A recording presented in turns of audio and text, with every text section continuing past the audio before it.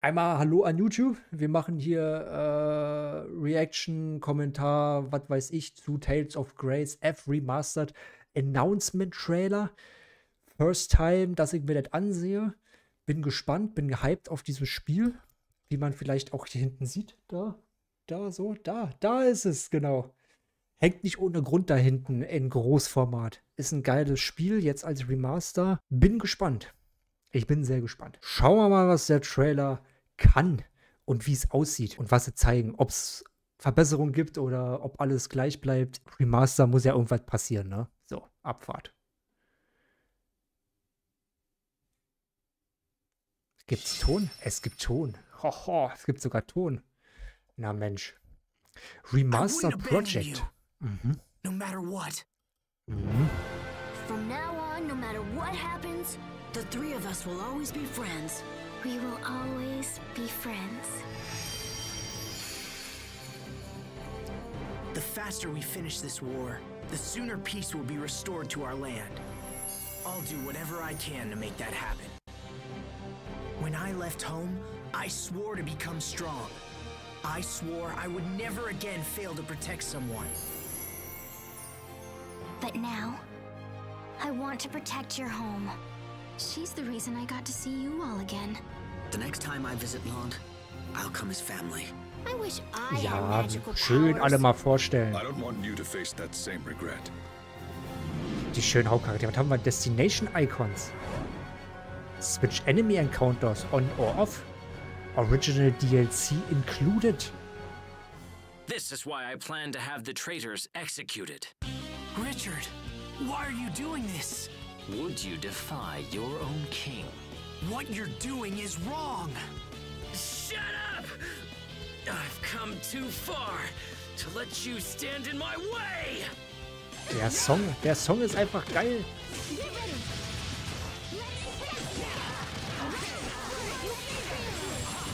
Remember the pact of friendship we made together? Includes the We'll after story. pact once Richard is back to normal. Mm-hmm. I'm really glad that both of you guys were here. A friend helps you out when you're in trouble. You laugh together when you're happy. So if we join forces and work together, we can accomplish anything. All right, guys, let's go home. Time for us to go.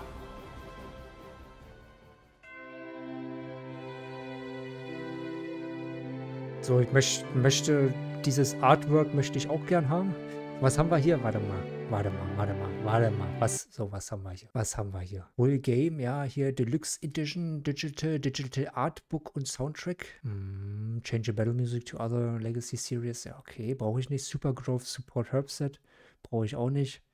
Digital Soundtrack. A total of 112 Tracks. Mhm.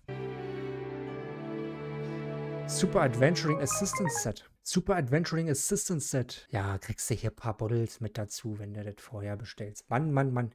So, ja geil. Hat doch schon äh, äh, super viel gezeigt. Wobei das hier, das, das hier, äh, 30. Anniversary, 30-jähriges Bestehen, Remastered Project.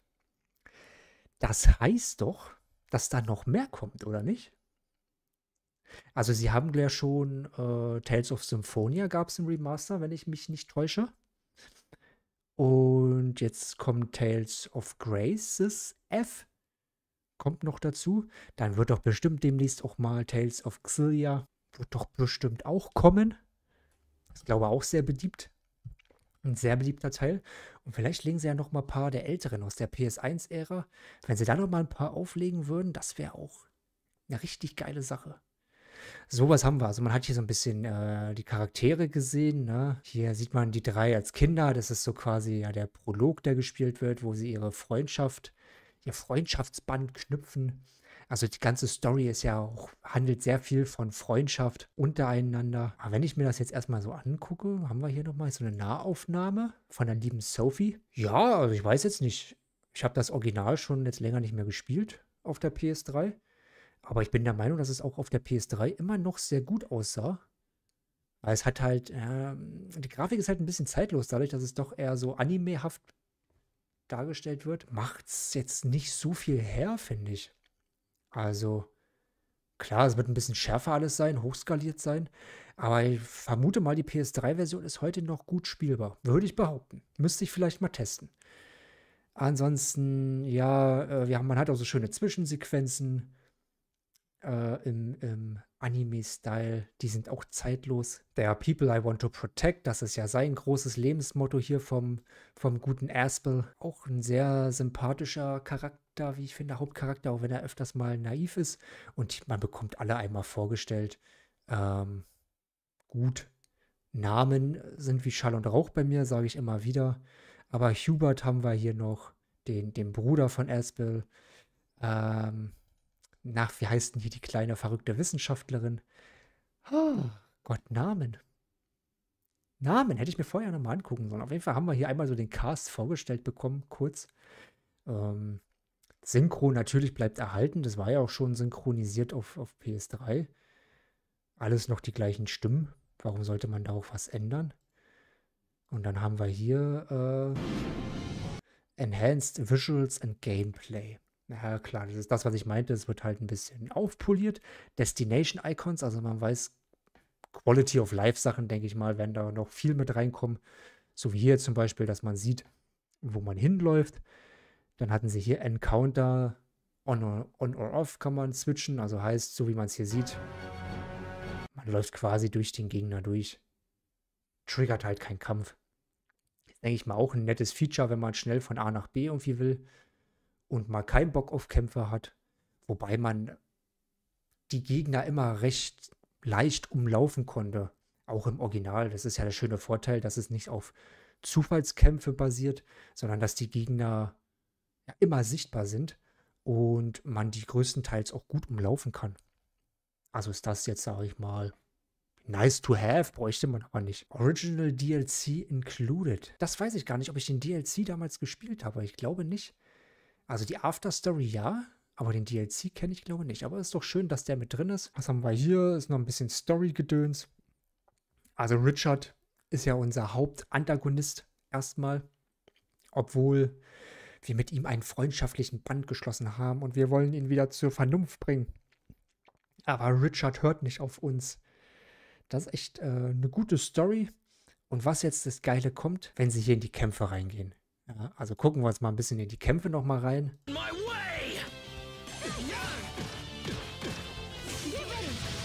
Und das ist genau das, was ich liebe. Das ist, was ich an diesem Teil geliebt habe, dieses Effektfeuerwerk. Ein Effektgewitter, was da abgebrannt wird, gerade wenn dann die anderen Charaktere auch äh, immer mehr ihre Fähigkeiten bekommen, dann knallt das einfach nur noch auf den Bildschirm und das ist einfach nur geil anzusehen. Ja, hier sowas da. Zack, zack, zack, bum, bum, bum. Sowas haben wir hier nochmal.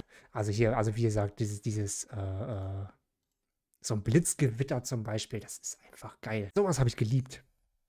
An dem Game weil sie das so schön pompös inszeniert haben. Dann äh, includes the Afterstory, Lineage and Legacies. Das habe ich auf jeden Fall mitgezockt, ja, das weiß ich noch. Da geht die Story weiter. Fand ich, hat der Schwierigkeitsgrad nochmal knackig angezogen, aber war äh, Bosskämpfe, eieiei. Eieiei, Kartoffelbrei, das habe ich noch gut in Erinnerung. Dass ich da gut auf den Sack bekommen habe. Haben wir noch irgendwas? Ja, hier, diese Special Attacks. Na, auch die waren geil. Auf die freue ich mich. Bam, bam, bam. Let's go home. Ey, ein super Ding. Habe ich Bock drauf. Ich habe Bock drauf, mit dieser Truppe nochmal auf Abenteuer zu gehen, das Abenteuer nochmal zu erleben. Wobei man es bestimmt auf der PS3, wie gesagt, immer noch gut spielen kann. Aber ich freue mich trotzdem, dass es eben remastered wird und es auf andere Plattform kommt, auf die modernen Plattformen, weil es war bisher, glaube ich, immer nur auf der PS3 verfügbar. Und ich weiß gar nicht, auf welcher Konsole das vorher war. GameCube?